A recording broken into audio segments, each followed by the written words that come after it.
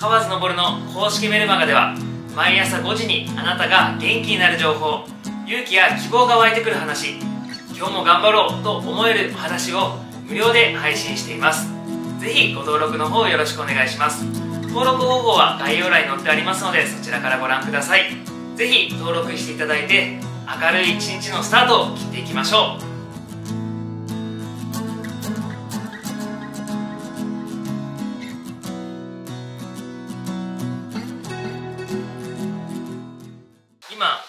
の統一地方選挙が2023年の4月から始まるんで僕駅で、えーポスなんだチラシ配りとか朝の挨拶運動とかしてるんですよ。でやっぱりそこの駅に来る人たちって通勤で電車を使う人たちじゃないですか。だから、まあ、だからかなんかわかんないけどまあね僕の捉え方ですけど目が死んでるんですよ。わかる。わかる。わかる。わかる。でね僕その時にあの、まあ、目が死んでるから僕が挨拶をして元気よく挨拶をしてこの人たちに少しでもあの元気になってほしいなって思いながら「おはようございます」って言うんですね。まああの返してくれる人はあの100人いたらまあは7人ぐらいなんですけど、まあ、それでも頑張って挨拶するわけですよ。あとの、まあ、50人ぐらいはちょっと会釈ぐらい。その30人ぐらいかな。30人ぐらいかな。であとはちょっともうあと素通りだね。そう素通りなんですけどね。であのそのことをねあの妻のめいちゃんにその朝の挨拶運動が終わった後にあの LINE したんですね。目が死んでたって言って、うん、そしたらめいちゃんが何て言ったかっていうとなんか私もそうだったなみたいなこと言ってたんですよね。要するに会社員時代はストレスフルだったってめいちゃんも、うん、だからなんかすごい自分もこういろんなものを背負い込んでいたっていうふうに言ってたんですね。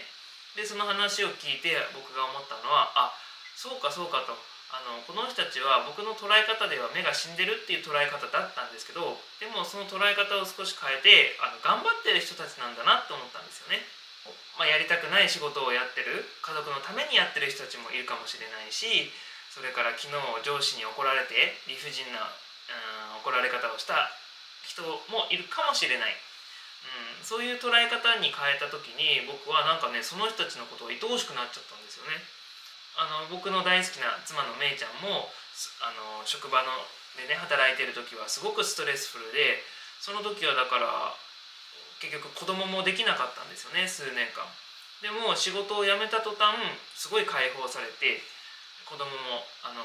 ねあの身ごを持ってですねだからそのストレスってすっごい会社に勤めるってすっごい大変なことなんだなって改めて思って僕は今幸いねこういうふうに幸せなことにあのねオンラインでも対面でも受講生がいて自分の好きなことを今やれてる状況にあるんですけどあそうじゃないあの人たちのことを思った時にあもうめっちゃ頑張ってるなと 思ったんですよね。うん、は例えば会社員時代頑張ってましたか？確かに言われれば私も目が死んでました。あ本当？本当えー、えちゃんはどうですか？今のいまあ今私もそうん。あの今は通勤に車なのでうん。電車使ってないんで、そういう街頭演説みたいな人を通勤時とかに見かけることはないんですけど、うんなんか朝から元気だなとか。あうるさいな今日も。と かそういうふうに悪態ついてました。あ いいですねそうそう。いいですね。さんはどんなですか？会社のそういうね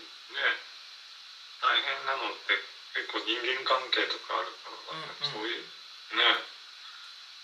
うまく改善すればまあ自分は上にそういうとこで上に立ったことないからあれだうんうん。上の人にちゃんとその辺改善すればもっといい会社になるのになっていうのは思ったけど、ほとんどの会社はできないから。ね、そういうとこも。なえーっと子供とかに伝えたいなと思う。あの、うん。そこが大事だよみたいな感じで思います。うん。だからなんだろうなつこれがつながり感の正体だと思うんですよ。共通点を見つければ見つけるほどつながりを感じられるんですけど相違点。僕はあの今好きなことをやってる。ライフワークとライスワークで言うとライフワークの方をやれてるんですけど目が死んでるっていう風に僕が捉えた人たちっていうのはどちらかというとライフワークじゃなくてライスワーク、うん、自分の家族を養っていかないといけないからこの仕事やってますみたいな人たちが多いと思うんですよね。でもそこって僕とえーね、そういう目が死んでるって僕が捉えた人たちとはこう相違点じゃないですか。でも相違点があればあるほどこう心理的な距離が遠くなっちゃうんですよね。でもあこの人たちも僕僕も僕も一緒だと、うん、僕も頑張ってるしあの人も頑張ってるっていうところでは一緒じゃないですか。で捉えた時にすごくねなんだろうなその見え方が変わってくるんですよね。うん。でこれはいろんなとこ生活をねする中ですごくあの気づきになるんじゃないかなと思っててでこの前ね僕がセンターピース人間心理学の今日光2回目2週目をやってるんですね。次はスタッフとしてや行ってるんですけど、そうそうその時にあのメンターの亀ちゃんが言ってたのがあの人生を変えるとか人生がこうより良くなる時に、えー、まあ、第一講座目っていうのもあったんで何て言ってたかっていうと何が重要かって言ってたかっていうと情報うん、を、え新しい情報を受け取る、うん、これで人生が変わるっていう人が、うん、思ってる人が多くいるんだけどそうじゃないと。例えばセンターピースの内容あのは結構ね目新しいものもあれば目新しくないものもあるんですよね、うん、だから1講座目来て2講座目来なくなっちゃう人が多いんですって。そういう人っていうのはななぜそういうふうになるかっていうとあこれ俺知ってるしみたいなね。なんだよこの情報情報量これだけかよみたいな人が、うん、2講座目来れなくなっちゃうんですけどそうじゃないと。人生が変わっていくの、うん、変わっていくにはその目新しい情報を新しい情報を手に入れるんじゃなくって自分の習慣を変えないといけない。言ってたんですよ。うん、でその習慣は身についてるもんだから例えば逆パターンをすればいいんですよね。うん、僕だったらあ目が死んでるなと思ったら、うん、人がいるなっていうふうに僕が捉えたら逆パターンとしてそうじゃなくってどういうふうに捉えたら自分の今の習慣